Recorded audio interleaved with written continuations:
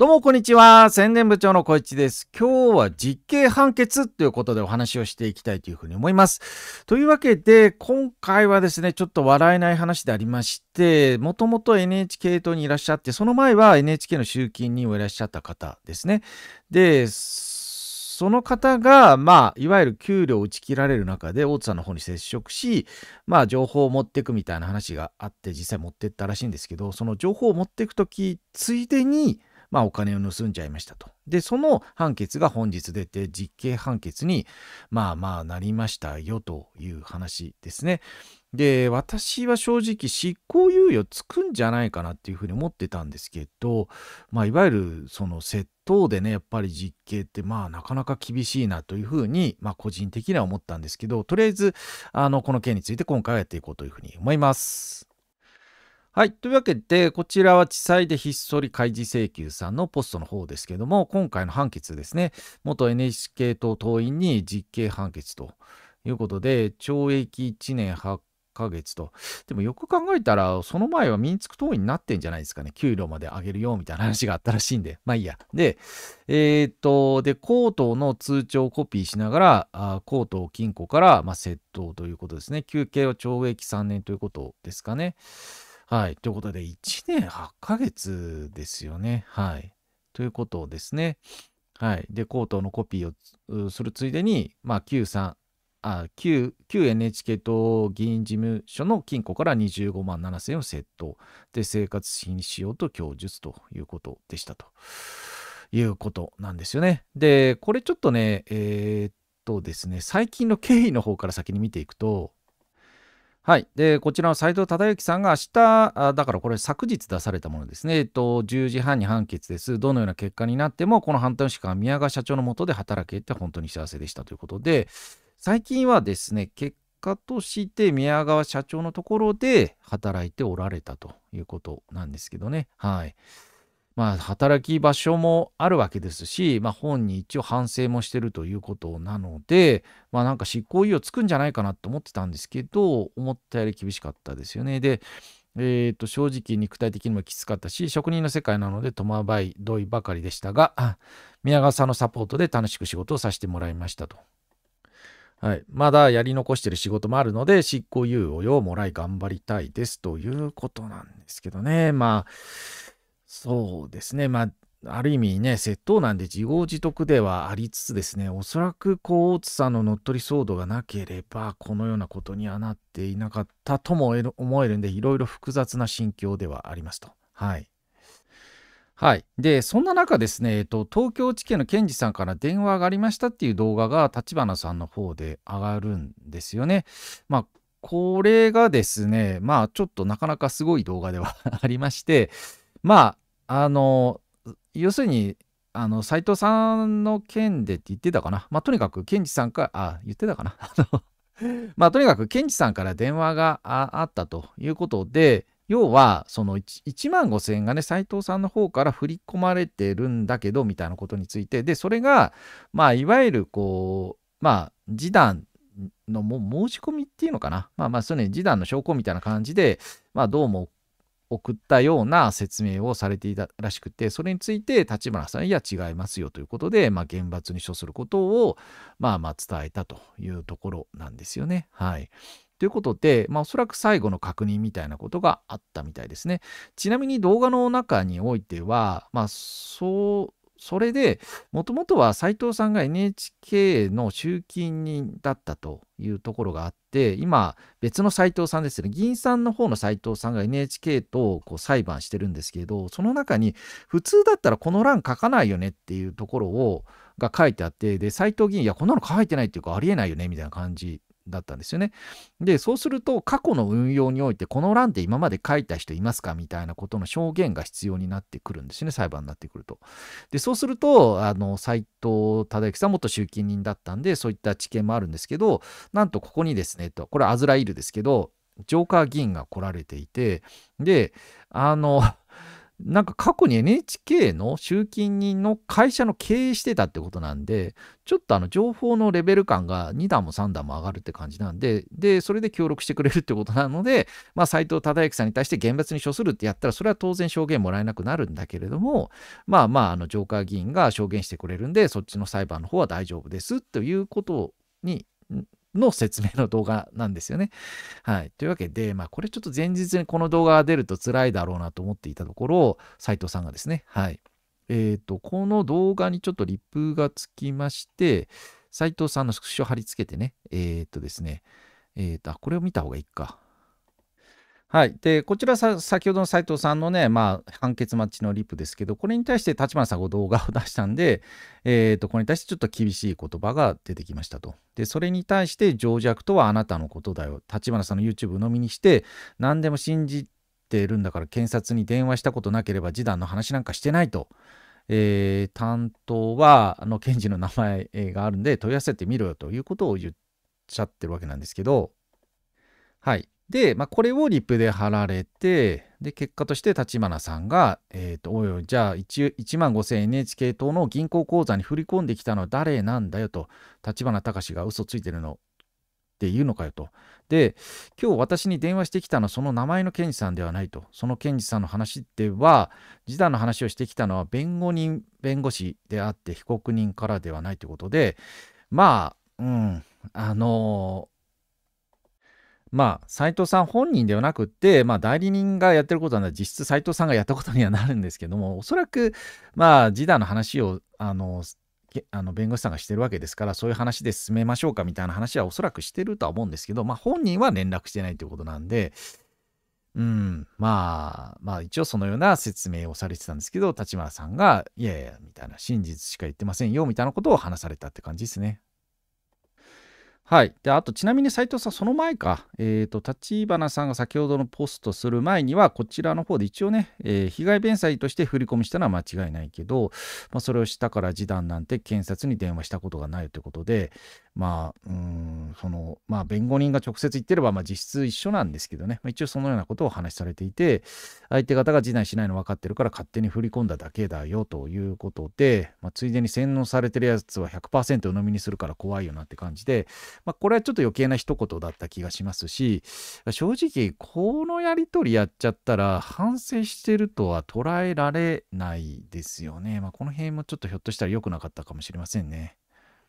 はい。というわけで、まあ、これ先ほどの立花さんのポストに戻りますけど、まあ、結局、1万5000円を勝手に振り込んだのは、まあ、その通りだし、それの目的を、えー、弁護士さんが、弁護士さんが、えー、検事さんの方に、まあ、示談なりませんかみたいなね、いうことを言ってきたと、まあ、いうところなんでね、まあ、お互い嘘は一応ついてないということにはなるんでしょうね。はい。はい。というわけで、まあ、単なる食い違いではあるんですけども、まあ、一応ね、やっぱり、窃盗してしまった側がですね、まあ、判決の前日にこうやって割って言ってしまうことが、まあ、圧倒的に本当に間違ってることを立花さんが言うんだったら、まあ、一応言った方がいいのかもしれないですけど、そういうわけでもないじゃないですか。だからね、その辺含めて、やっぱり、反省してるとは捉えられなかったのかも分かりませんね。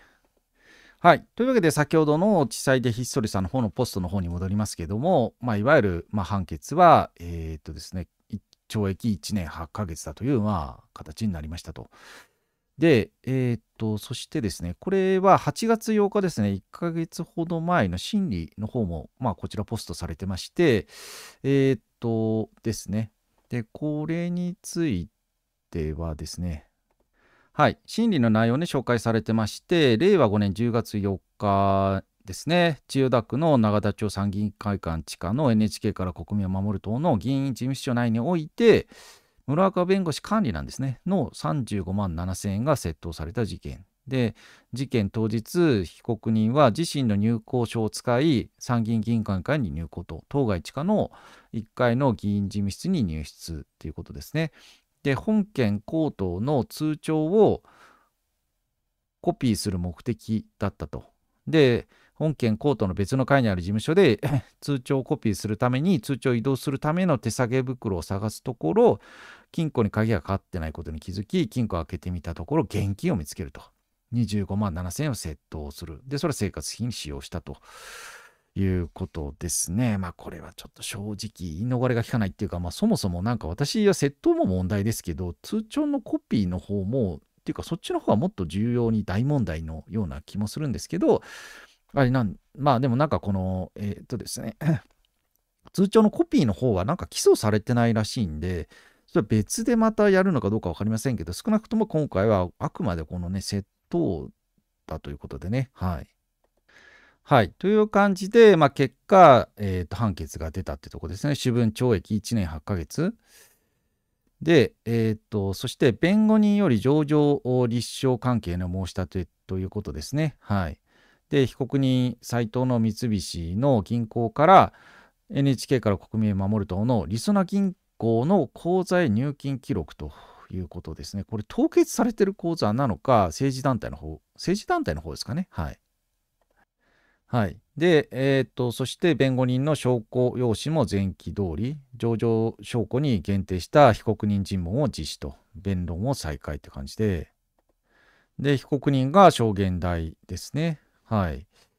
で、送金した1万5000円の記録は、第2事件の日が、第2事件？第1があるんでしょうね。ああ、だからこれいくつかあんのか。だから、うん、第2事件の被害者に弁済したものか、あということで、〇〇組から給与として支払われたものからということで、これはあれですか、宮川さんの会社なのかな？えっ、ー、と、1万5000円を支払いましたと。で、1万5000円は分割で支払いができる最低限の支払いをしました。で、残りはということで、分割になると、思うが、まあ、支払いたいと思ってますということですね。はい。で、えっ、ー、と、そしてですね、今月、来月とこれから25万7000円を全額弁済するのかっていうことですね。はい。はい、で、被害弁済を行った被害者の口座ですね、N 党の口座を、NHK 党の口座をなんで知っていたのかということについては、以前経費などの業務に従事していて知っていたのでということで、えー、あなたが被害者コートに連絡すると、とても示談できるような状態ではなかったってことですねと。それで振り込みをしたということですかね。はい。で、今回1万5000円を NHK 党の口座に振り込みしたことについて NHK 党関係者に事前に話したわけではないですねと。はい。で、本件証拠意見について検察官は従前通りとの一言、裁判官は一言で言うとということで、全額を支払ったものではない、また被害について充当されたものではない、だから判決の量刑に影響を与えるものではないと述べるということで、まあ、おそらくこの主張をするために立花さんに電話してきて確認を取ったっていうことなんでしょうね。はい。はい。まあ、ちょっと思うにですね、まあ、その、なんで、まあ、勝手に振り込むにしてもですね、なんで全額払わなかったのか、ちょっと謎ですね。借りてでもとは思うんですけど、まあ、それ貸してくれる人がいなかったのか、まあ、うん、その辺のちょっと読みが甘かったかも分かりませんね。はい。それで弁護士の方がですね、一部を被害弁済したことについて、上場で考えられるべきであり、執行猶予を求めると読み上げるという感じですかね。はい。ということですね。そして斉藤さんは証言台に座ったまま発言求められて、第一事件、第二事件ともに被害者には大変ご迷惑をおかけして申し訳ありません。これからは犯罪に手をかけずまともに生きていきたいと思いますということをおっしゃったっていうことなんですけど、はい。まあ結論としては、えっ、ー、と、判決ですね。懲役1年8ヶ月ということになりましたつう感じですね。はい。ちょっと私、ちょ、未だに裁判の仕組みがよくわかってないんですけど、なんか、こんな感じなんですかね。なんか、判決出すときは判決だけ読むのかなと思ってたんですけど、一応意見を聞くんですね。はい。両者からね。はい。はい。で、例のあの通帳コピーの件が一番ね、多くの人が気になっているところだと思うんですけど、なんかコピーの件はね、起訴されてないということなんで、福永弁護士がまあ立花さんのポストを見てですね、教唆の実行行為性はなかったんですかねということで、まあ、疑問を呈されたんですけど、まあそもそも通帳コピーの件は起訴されてないということなんで、まあ、今後あるんですかね？ちょちょっと謎なんですけど、なんか、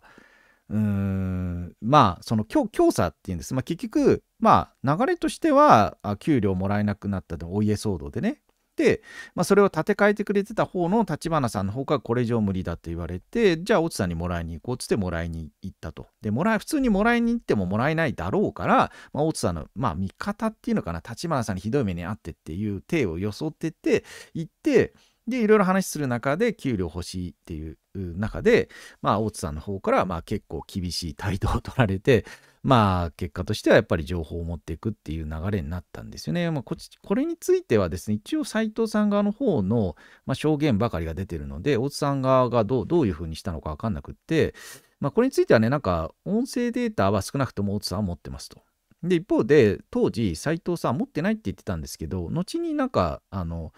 えっ、とですね、その辺の話を翻してですね、実は持ってますみたいな感じで、なんか一回それ売ったりとかしませんでしたっけ？まあとにかく、まあそれを聞いてみないとどういう流れだったかっていうのは正確にわかんないんですけど、これが裁判等々になれば証拠として出てくるよねっていうふうに思っていたんですが、まあ、今回は起訴すらされてないってことなので、なんかどっかでまとめて別の方向性でやるのかよくわかりませんけれども、不思議といえば不思議ですよね。だてこれがあったから最終的に、まあ、窃盗に結びついたってわけなんですけど、そこをなんか、ま、なんか、なんかこう、一色単にすると、わけわかんなくなるのかな？あのっていうので、えっ、ー、と、おそらく、どうかな、まあ、窃盗だけやって、とはいえ、まあね、通帳コピーした件が別に、なんて言うんだろうな、これ、まあ、時効どんくらいかわかんないんですけど、まあ、それが消えたわけではないですよね。で、まあ、お家騒動の方もごちゃごちゃしてるし、そもそも代表権で争ってるから、これはちょっと、まあ、寝かそうっていうふうに思っ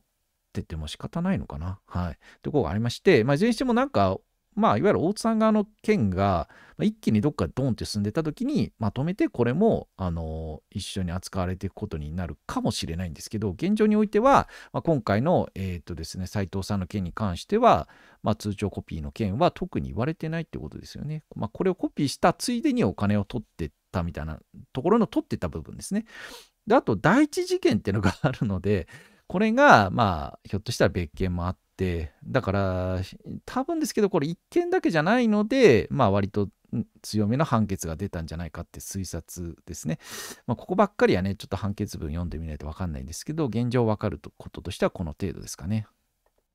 はい。というわけでね、まあ、そのなんか、えー、っとですね、その福永先生の方もね最近ちょっと元気がなくて心配してたんですけどもなんかどうもいろんな人に励まされたりなんか山登りに行くことになってなんかマナするっていうね結構大変な山を登った仲間と一緒に行かれてるっぽいのでまあ今後なんか元気な戻るっていうかまあそのままで全然いいんですけどね。はい。まあ本当になんか全てを吐露されてすごいなと思いますけどもはい。というわけで、まあ、多くの方がねまあ心配されてある意味まあこういう状況になった時に今まで自分のなんか積み重ねてきたものが出るなっていう感じでね、もう多くの人が励ます声も見て、私も勝手に感動してましたけど、はい。というわけで、まあ、それはなんとかなりそうでよかったですね。はい。で、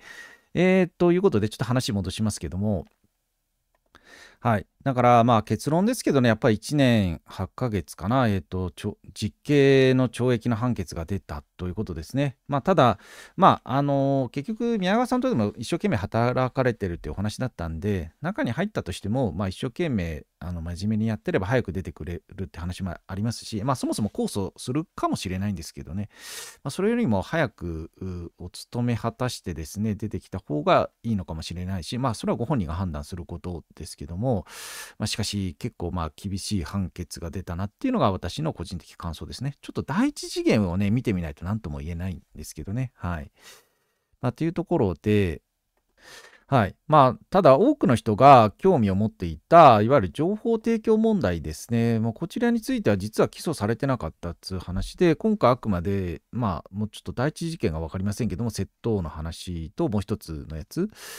なわけですよね。だから今後ひょっとしたら出てくるかもしんないけど、まあ、いずれにしてもですね、その少なくとも NHK 党のやっぱり窃盗に関してはですよ、やっぱり大津さんが追い込んだ件がやっぱり関与してるって話でありまして、まあ、そのまあ正直犠牲者とも言えるかなと思ってってますね。当然自業自得の部分もありますよ。あるけど、その、やっぱりあんな給料ストップとかね、もうやっちゃいけないことをやった結果ですよ。だから、それは正直、もっと多くの被害、だから見え、まあ今のところこれ見えてるのがこんな感じで、見えてない被害含めてたくさんあると思うんですよね。それは本当に立花憎しの結果、そっち側についてるやつも同罪だみたいな感じでギリギリやってきたわけでしょ。まあ、それをやった結果がこれですよ。だから本当にやっちゃいけないことをやってるっていうことなんで、だからこれね、本当に思うんですけど、大津さん支持してる方々は、支持するのはいいですよ、政治的主張とかね。私はまあもう何も惹かれるものはないけど、だけど、こういうやっちゃいけないことまで支支援してたでしょ、その給料なんかね、払わなくていいんだとか、それから、あの、何でしたっけ、えっと、債権者いないんだとか、まあ、要はその本来の争いと本来だって関係ないはずの部分それが要するに立花さん側にいるってことによって一体みたいな感じで見なして攻撃した結果、まあ、多くの人が被害を受けてるわけですよねだからそこについてよくよく考えないとそのそういった悪いことしてるじゃないですか明らかにね。